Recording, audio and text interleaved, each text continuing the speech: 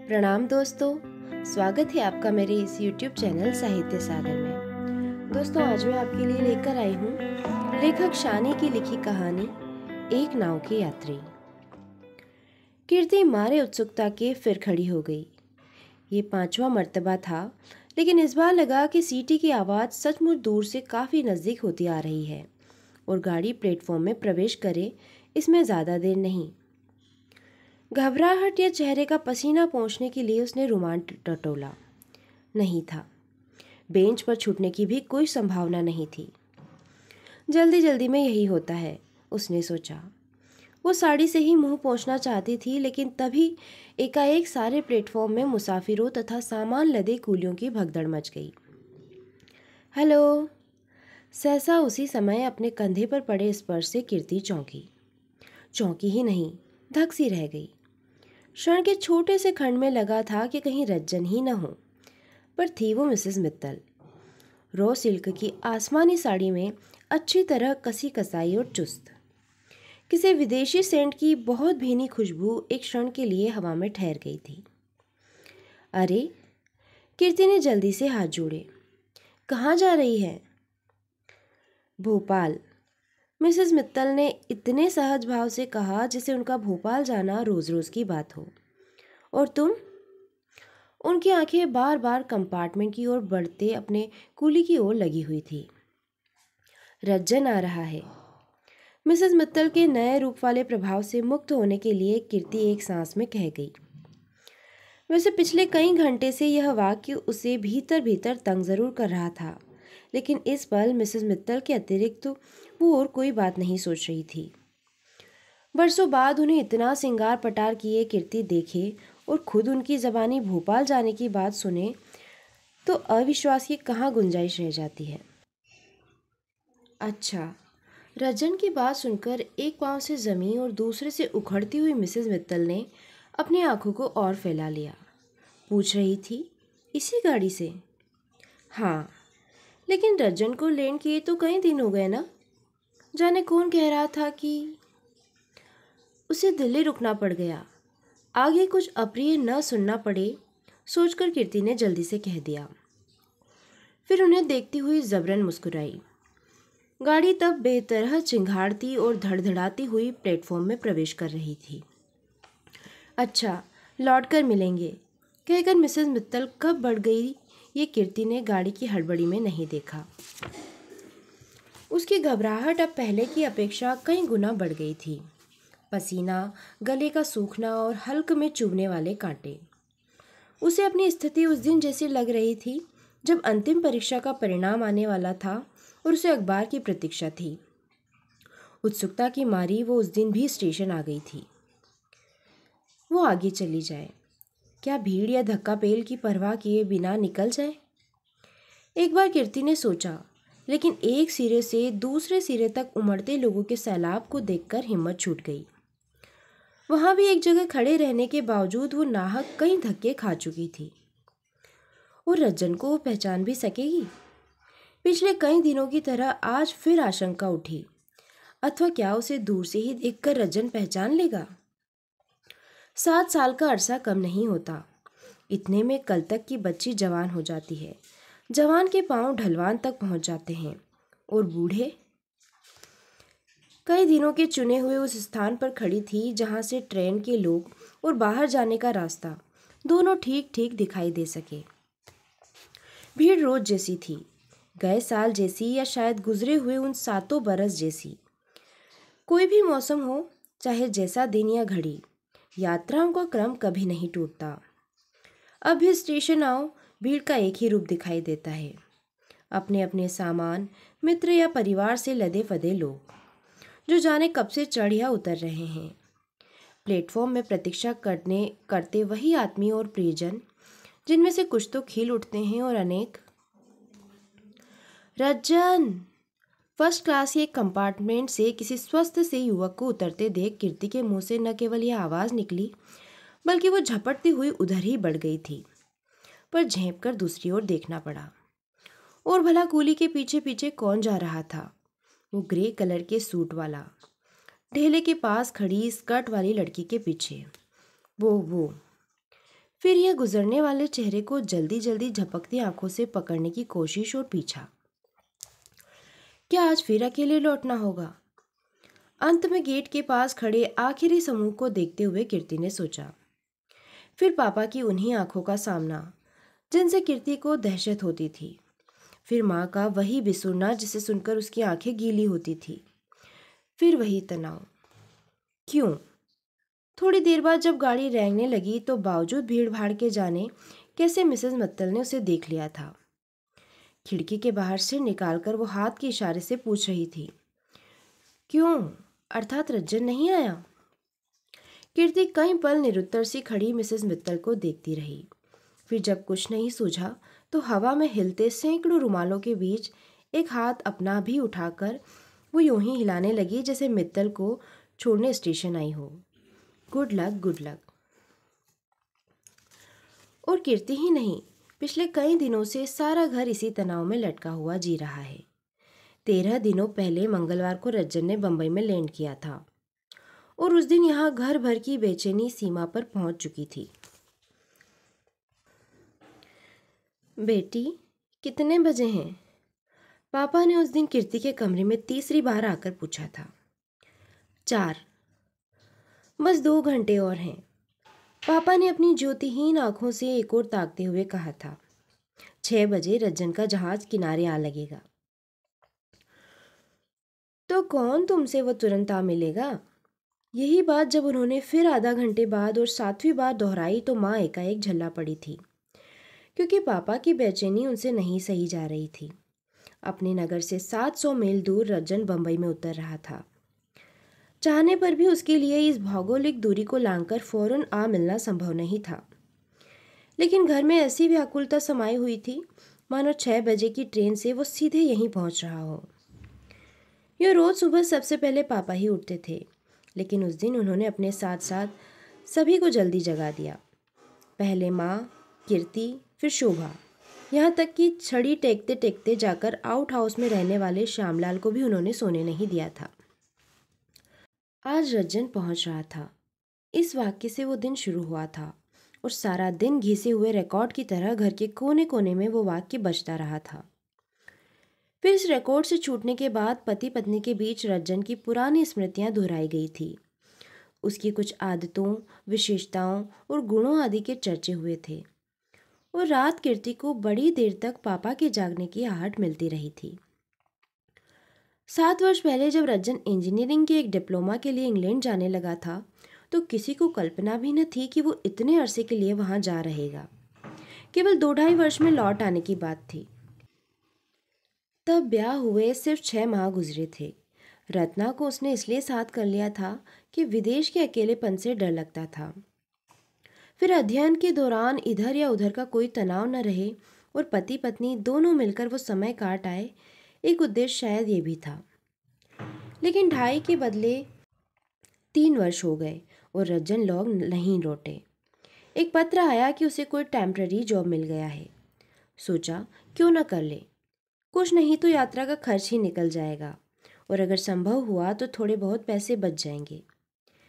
फिर ये सूचना आई कि रत्ना को भी वहाँ रेडियो में नौकरी मिल गई है और दोनों मिलकर काफ़ी कमा लेते हैं। रजन के शुरू शुरू के पत्रों से अवश्य लगता था कि उसे कहीं ना कहीं वापस लौटने की उत्सुकता है। पर बाद में वह इस टर्म में सोचने लगा था कि भारत में अगर वैसी अच्छी नौकरी न मिली तो। और इस बीच कई बड़ी बड़ी और अप्रत्याशित घटनाएँ हो गई थी। शोभा के बाद वाला भाई जाता रहा था। कीर्ति से बड़ी बहन नलिनी ब्याह होकर बनारस चली गई थी। पापा सरकारी नौकरी से रिटायर होकर घर बैठ गए थे। और इनमें सबसे बड़ा हादसा ये हुआ कि पापा की आँखें अकस्मात जाती रही। मुझसे बड़ा अभागा और कौन होगा? इस खबर के मिलते ही रज्जन ने बेहद दुखी स्वर में लिखा था कि इतनी बड़ी बात हो जाए और मैं आपके पास न हूँ सचमुच मैं नराधम हूँ या यह मेरे पूर्व जन्म के पापों का फल है कि इतना सब होने के बाद भी मैं आपसे हज़ारों मील दूर पड़ा हूँ। लेकिन पापा, आप चिंता मत करें। मैं आजकल में यहाँ के आई स्पेशलिस्ट से कंसल्ट कर रहा हूँ। मुझे विश्वास है कि जिस दिन आपको यहाँ ले आऊँगा, सब ठीक हो जाएगा। खत सुनकर पापा रो पड़े थे। कीर्ति से पत्र लेकर कुछ देर वे उस पर यूँ हाथ फेरते रहे, मानो उंगलियों में आँख उतर आई हो। फिर भर्राए कंठ से उन्होंने इतना ही कहा था। कीर्ति की माँ, ईश्वर की सौगंध अब मुझे आँखों का अफसोस नहीं रहा। और उस दिन कई महीनों के बाद समूचे घर के लोग पापा के कमरे में इकट्ठे हुए थे। उन्हें घेर कर कीर्ति, शोभा और माँ सभी बैठ गई थी। और पापा ने अपनी आदत के अनुसार नौकरी के दिनों वाले बरसों पुराने किस्से सुनाए थे। वे किस्से जिन्हें इससे पहले भी कई बार उन्होंने सारे घर को सुनाया था। गेट के बाहर ही कीर्ति ठिठक गई। तीन चार दिनों से यही हो रहा था।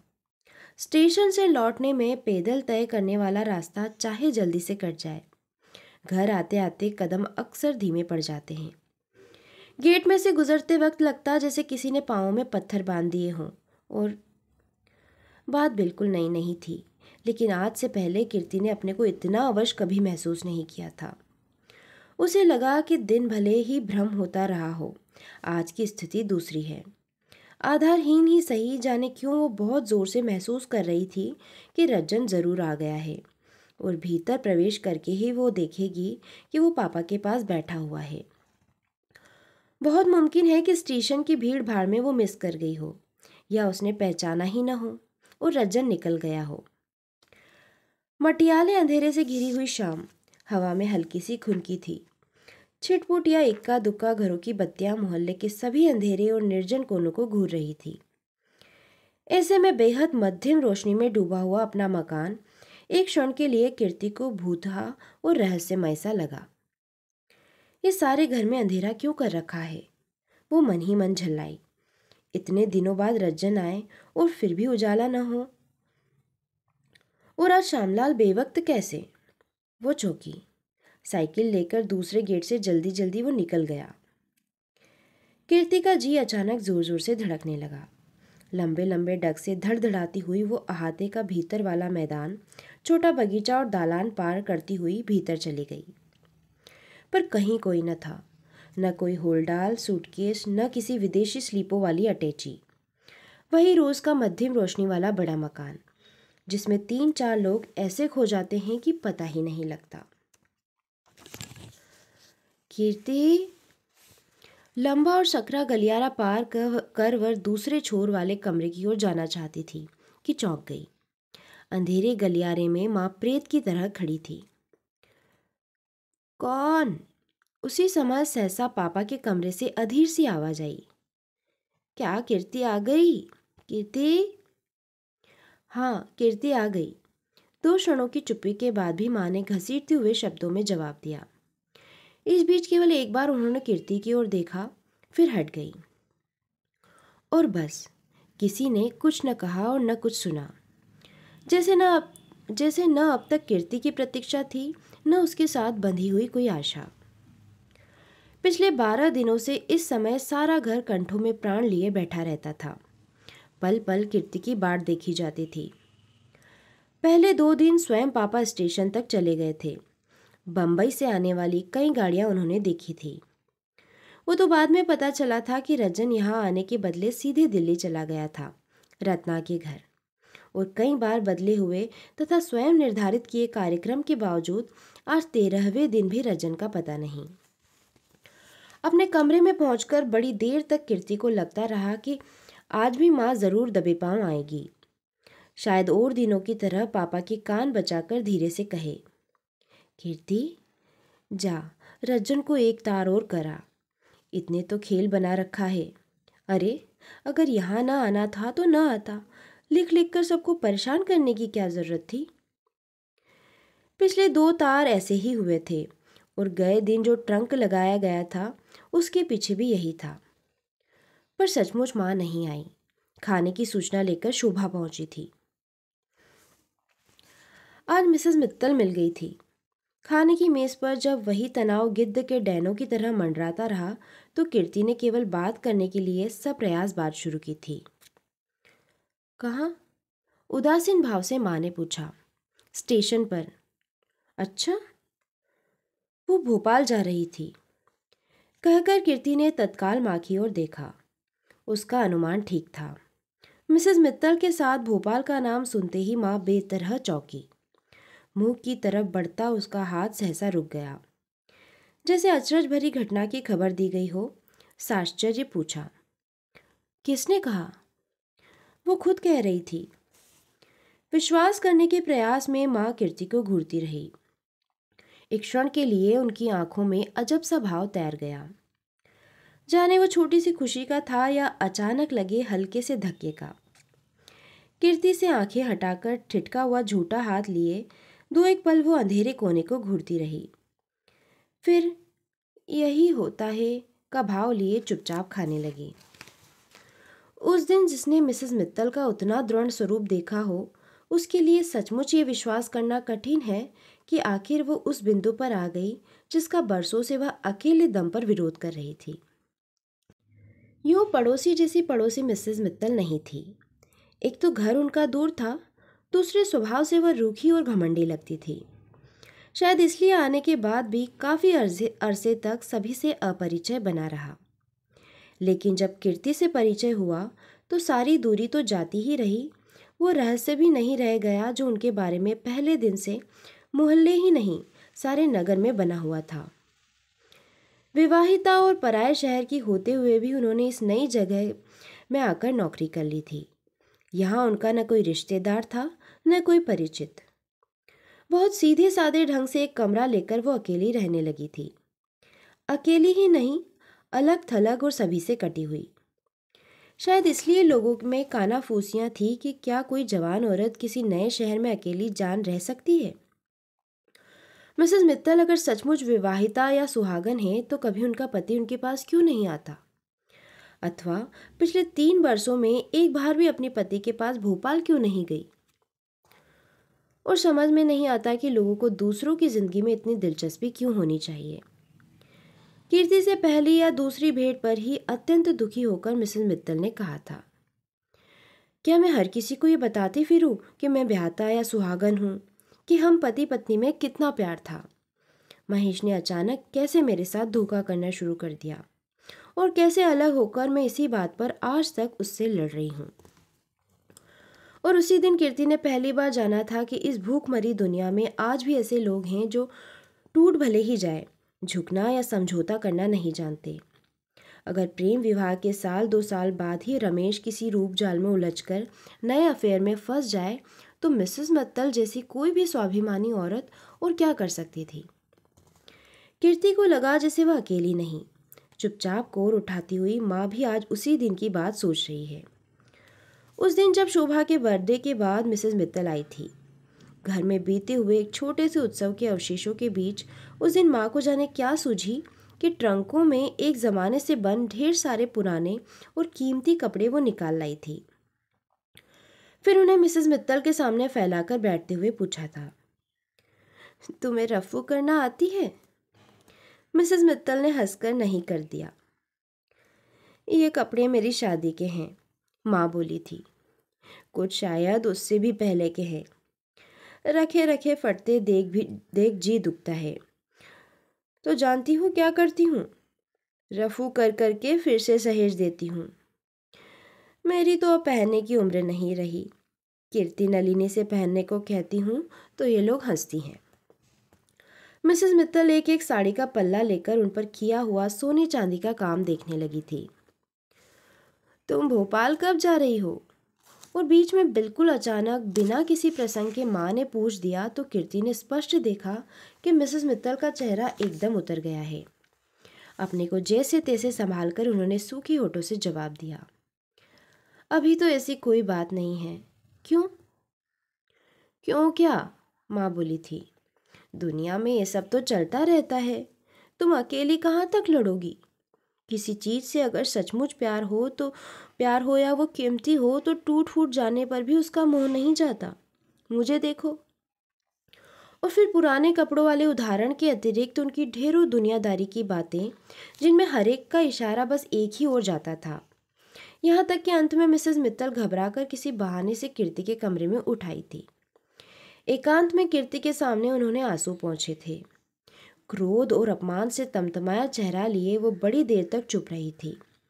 और जब माँ के ही स्वर में कीर्ति ने तसल्लियाँ देनी चाही तो आवेश में आकर उन्होंने अपने जूड़े में खूंसा फूल निकाल लिया था। कुछ देर उनकी पंखुड़ियों को सहलाती रही थी। मानो कोई गहरा सा जवाब देने के पहले अपने शब्दों को तोल रही हो।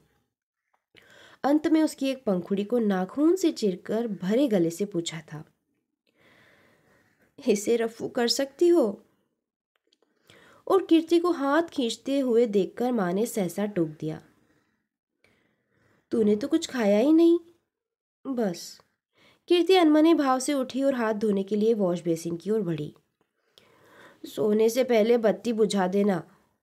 जाती हुई कीर्ति को माँ ने रोज़ की तरह हिदायत दी। नाहक मुझे परेशान होना पड़ता है।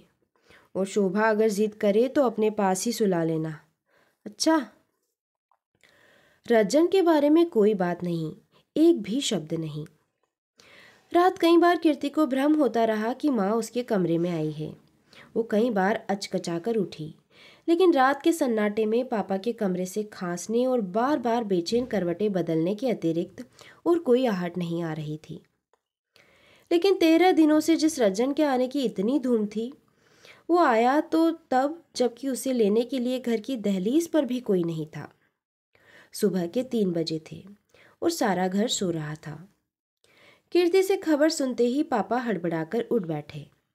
अपनी छड़ी के लिए एक पल वो हवा में हाथ चलाते रहे, फिर केना के जवान पत्तों की तरह बाहें फैलाकर थरथराते हुए खड़े हो गए। रज्जन ने आगे आगे बढ़कर उनके पाँव छुए। पीछे पीछे रत्ना थी। तूने तो बड़ा इंतज़ार कराया। अपने चरण छुए जाने के बीच माँ कहना चाहती थी, यहाँ तो कई दिनों से ये हाल है कि पर कहा नहीं गया। किसी से कुछ नहीं कहा। तभी वहाँ शोभा आ गई। परसों बाद हम उम्र भाई बहनों के मिलने का शोर सारे घर में गूंजता हुआ पास पड़ोस तक जा पहुँचा। अरे शोभा, तू इतनी बड़ी हो गई।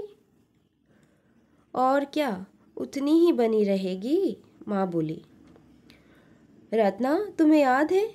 रज्जन ने कहा। ये इतनी सी थी। और कीर्ति को देखो, कम वक्त अच्छी खासी महिला बन गई है। और जो मैंने एम पास कर ली है वो? कीर्ति बोली। लेक्चर हो गई हूँ वो? तुम लोगों के बराबर कमाने लगी हूँ वो? इनमें से किसी की बधाई नहीं। रजन, इस बार तो मुझे भी अपने साथ इंग्लैंड ले चल। अच्छा अच्छा रजन ने चिड़ाया कभी आईने में अपनी शक्ल देखी है? और उस धमा चौकड़ी में कीर्ति के अतिरिक्त किसी ने नहीं देखा कि पापा की उठी हुई बाहें कैसे नीचे गिर गई। देखो, मैं तुम सबके लिए क्या क्या लेकर आया हूँ। फिर बीच में ही उठकर रज्जन ने ट्रंक खोला और माँ के मना करने तथा ये कहने के बावजूद कि दिन में देख लेंगे उसने एक एक करके सारी चीज़ें उत्साहपूर्वक फैला दी। पापा के लिए ऊनी कोट, माँ के लिए कार्डिगन, शोभा के लिए नए प्रकार के खिलौने और कीर्ति नलिनी के लिए स्वेटर तथा स्कार्फ। रत्ना ये बताती रही कि उन प्रेजेंट्स के एक एक पीस के लिए उन्होंने लंदन की कितनी कितनी दुकानें देखी थी और कितने अंबार में से पसंद किया था। पापा ज्योति विहीन आँखों से अपने ही परिवार को घूरते हुए अपरिचितों की तरह सुन रहे थे। अगला दिन कीर्ति के घर ऐसे आया जैसे बरसों पहले कभी आया करता था। सुबह से मिलने बैठने वालों का तांता लग गया। उनमें पापा के मित्र थे, माँ की परिचित महिलाएँ थी। कीर्ति शोभा की सहेलियाँ थी और सबसे अधिक संख्या थी रज्जन के उन दोस्तों की, जिनके साथ उसने बचपन और स्कूल के दिन गुजारे थे। अब तो तुम्हारा साथ भी फिजूल है। दोपहर को दिन रात के संग संग बैठने वाले शर्मा जी ने कहा तो पापा एकाएक चौंके क्यों? अरे भाई, अब तुम यहाँ हो ही कितने दिन? दूसरे मित्र सक्सेना ने कहा, चंद दिन ही तो हो, रज्जन आ गया है, तुम्हें अपने साथ ले जाए बिना थोड़ी ही मानेगा? अच्छा वो। पापा सांस छोड़कर धीरे से राहत भरी हँसी हंसने लगे। देखो क्या होता है, पीछे तो वो बहुत दिनों से पड़ा है, मैं ही अब तक चुप बैठा रहा। कभी सोचता हूँ कि रजन की बात मान लूँ। कभी हिम्मत नहीं होती। इसी चक्कर में मैंने यहाँ किसी डॉक्टर को भी नहीं दिखाया। सच पूछिए तो शर्मा जी, अपना देश छोड़ने के नाम पर ही जी कचोटता है। तो कौन हमेशा के लिए जाना है? शर्मा जी बोले। आँखें वापस मिल जाए तो चले आना। पापा कुछ सोचने लगे। मानो उसी समय निर्णय कर रहे हों कि उन्हें रजन के साथ जाना है अथवा नहीं। निश्चय ही शर्मा जी, सक्सेना या सभी लोगों को लग रहा था कि रज्जन के आने का अर्थ ही उनका जाना है। पत्नी बच्चे ही नहीं, स्वयं उन्होंने ये बात कई लोगों से कह रखी थी। लेकिन आज जिस वास्तविकता का पता शर्मा जी, सक्सेना या बाहर वालों में से किसी को नहीं था, उसे याद कर उन्हें अजीब सी व्याकुलता हो रही थी। मन की चिकनी और बेहद बिछलन भरी दीवार पर जो सांप की तरह चढ़ और गिर रहा था वो ये भय था कि रज्जन कहीं अपने पत्र की बात भूल तो नहीं गया। क्योंकि आने के बाद से आँखों के बारे में औपचारिक सी पूछताछ के अलावा और कोई बात नहीं हुई थी। होगी, लड़का है, बरसों बाद आया है, पहले उसे दम मारने की फुर्सत तो मिले। रात को जब माँ ने उनसे खाने के लिए कहा, तब भी वो शायद उसी मुद्रा में थे। बोले, रज्जन को आने दो। उन लोगों का कोई ठीक भी है? माँ ने कहा। शहर सपाटे को गए हैं। जाने कब तक आते हैं? आखिर आएँगे तो? पापा बोले। कीर्ति शोभा को भूख लगी हो तो खिला दो। पर जाने क्यों? भूख किसी को नहीं थी। पिछली रात की तरह सभी उस रात भी ग्यारह बजे तक रज्जन रत्ना की प्रतीक्षा करते रहे। इस कोशिश में शोभा भूखी ही सो गई। तब भी उठाए नहीं उठी जब वे लोग लौट आए। पार्टियाँ और पिक्चरें। पहली दोपहर को छोड़कर तीन दिनों में न कोई रात खाली गई, न कोई दिन। पार्टियों और पिक्चरों का सिलसिला मुतवातिर चला और रजन को लगता रहा कि कुछ देर से घर आकर उसने सचमुच गलती की है। नगर में दोस्त या मिलने जुलने वाले क्या एक दो थे? उन्हें आसानी से निपटा दिया जाता। वहाँ तो जिसके साथ कोताही करो, उसे ही शिकायत हो रही थी। रज्जन जाने की कह रहा था। उस रात कीर्ति ने पापा के कमरे में माँ को कहते हुए सुना। किसके जाने की? पापा ने चौंक कर पूछा। मेरे लिए? नहीं, दूसरी ओर देखकर माँ धीरे से बोली। उसके अपने ही जाने की बात थी। कह रहा था, उसे जल्दी लौटना है और दिल्ली में भी एक दो दिन का काम है। बड़ी देर तक पापा ने कुछ नहीं कहा। ये लोग नलिनी के पास बनारस जा रहे थे ना? अब नहीं जा रहे हैं। क्यों? वक्त नहीं है, माँ बोली। मामा के पास जयपुर जाने वाला प्रोग्राम भी सुना, रद्द कर दिया। रत्ना कह रही थी कि उनके प्रेजेंट्स भिजवा दें। देखते हो, इतने वर्षों बाद आया है और बहन से मिले बिना चला जाना चाहता है। सोचो, नलिनी क्या कहेगी? कुछ देर पापा और चुप रहे। रज्जन और कुछ कह रहा था क्या? कब? कहकर माँ ने पापा की ओर देखा तो लेकिन दूसरे ही क्षण संभल भी गई। अपने ही प्रश्न को समेटते हुए बोली, अरे, उसे मेरे पास बैठने या बात करने की फुर्सत कहाँ है? कल ये ज़रूर पूछ रहा था कि पापा को कोट पसंद आया क्या? और तब चारपाई बजने की आवाज़ से कीर्ति ने अनुमान लगाया कि पापा ने फिर वही बेचैन करवट बदली है। स्टेशन से बाहर आकर कीर्ति ने मुक्ति की सांस ली। उसे लग रहा था जैसे एक लंबे समय के बाद किसी भयंकर तनाव से छुटकारा मिला हो। अजीब बात है कि रज्जन और रत्ना को गाड़ी में बैठते देख उसे ज़रा भी कचोट महसूस नहीं हुई। उसे कुछ वैसे हल्केपन का एहसास हो रहा था जैसे किसी छोटी हैसियत के आदमी को बड़े मेहमानों को विदा करने पर होता है। चलने से पहले रज्जन और रत्ना दोनों ने अलगाव और बिछो के औपचारिक शब्द कहे थे। लेकिन कीर्ति से कुछ भी नहीं कहते बना था। उसने लाख चाहा था कि रज्जन की बात रख ले। कई बार रत्ना के सामने उसने भूमिका भी बांधी थी, लेकिन लगा था जैसे भीतर कहीं से विद्रोह हो रहा है, और वो उसके सामने घुटने टेक कर अवश हो गई है। कीर्ति, तू मेरी एक बात मानेगी? प्लेटफॉर्म पर रज्जन ने किसी बहाने उसे रत्ना से अलग ले जाकर कहा था। क्या? सच तो यह है कि ये मैं तुझे से कह रहा हूँ। इसलिए तू बहन भी है। इसलिए कि तू बहन भी है और समझदार भी। ये मदर फादर को क्या हो गया है? हम लोग इतने इतने बरसों बाद आए, लेकिन लगा जैसे किसी को खुशी ही नहीं हुई। सारा वक्त पापा उखड़ी उखड़ी बातें करते रहे और माँ का मुँह सूजा रहा। मैं तो खैर घर का हूँ, शिकायत करके भी कहाँ जाऊँगा? रत्ना के दिल को इससे बड़ा धक्का लगा है। कह रही थी कि इतनी भावना से लाए हुए प्रेजेंट्स किसी ने अप्रिशिएट तक नहीं किए। पापा ने तो कोट को छूकर भी नहीं देखा।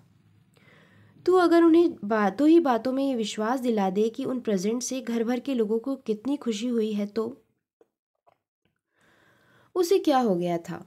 कीर्ति ने सोचा, रज्जन का इतना सा आग्रह रखते उससे क्यों नहीं बना? झूठ ही सही, क्या वो रत्ना से नहीं कह सकती थी कि और भला तुमसे क्या कह रही थी? अचानक उसके कंधे पर हाथ रखकर रमा सेन पूछ रही थी। कीर्ति सहम गई। खींच सी हुई कि जो रमा सेन स्टेशन से उसके साथ साथ टैक्सी में चली आ रही थी, उसकी उपस्थिति वह इतनी देर से कैसे भुला बैठी थी? और कौन क्या कह गई थी? कौन? हाँ मिसेस मित्तल। स्टेशन पर मिलने के बाद से वे लोग उन्हीं की बातें कर रही थी। चाहे अनचाहे, जगह बेजगह मिसेस मित्तल का ही प्रसंग। मुझसे तो कहा था कि दो चार रोज में आ जाएँगी। उन्होंने सभी से यही कहा था, रमा सेन बोली। मुझसे भी, लेकिन मैं तब भी जानती थी कि वो लौट कर नहीं आएँगी, और इसी तरह एक दिन उनका इस्तीफा आ जाएगा।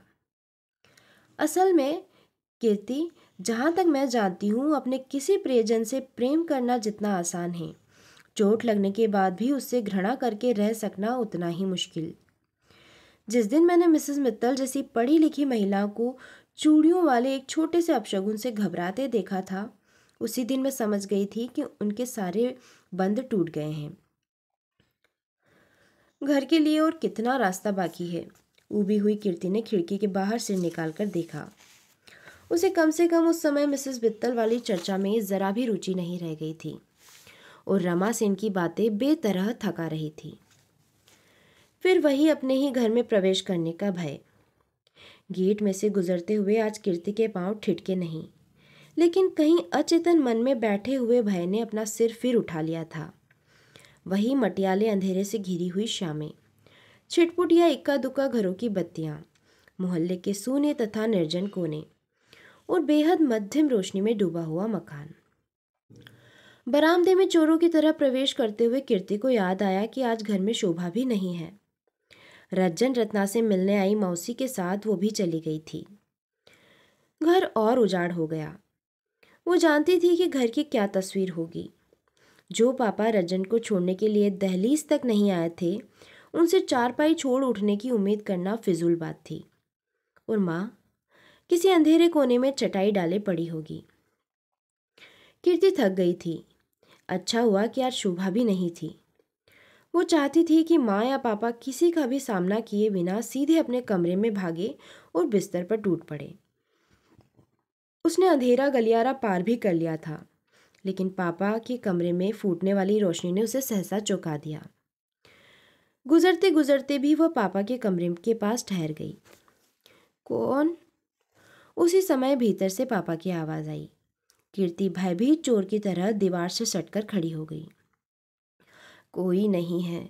एक क्षण बाद इधर की आहट लेकर माँ ने आश्वस्त करते हुए कहा अच्छा मुझे लगा जैसे कीर्ति आ गई। सुनकर कीर्ति से बिल्कुल रहा नहीं गया। कोई पाप हो तो हो। सोचकर चलते चलते ही सही उसने कमरे में झाँक कर देखा तो कई क्षण तक आश्चर्यचकित सी देखती रह गई। पापा ने वही कोट पहन रखा था जिसे रजन के रहते उन्होंने छुआ भी नहीं था। सामने कार्डिगन पहने माँ खड़ी थी। और उन्हें कंधों से पकड़े कार्डिगन के एक एक हिस्से को उंगलियों से टटोलते हुए पापा पूछ रहे थे, इसका रंग कैसा है? नीला? दोस्तों, कहानी यहीं समाप्त होती है। कहानी आपको कैसी लगी, मुझे कमेंट बॉक्स में लिखकर ज़रूर बताइए। और दोस्तों, मेरे द्वारा सुनाई गई कहानियाँ आपको पसंद आ रही है तो प्लीज़ मेरे चैनल को सब्सक्राइब कीजिए और अपने दोस्तों तथा परिचितों में शेयर भी कीजिए। आपका बहुत बहुत धन्यवाद।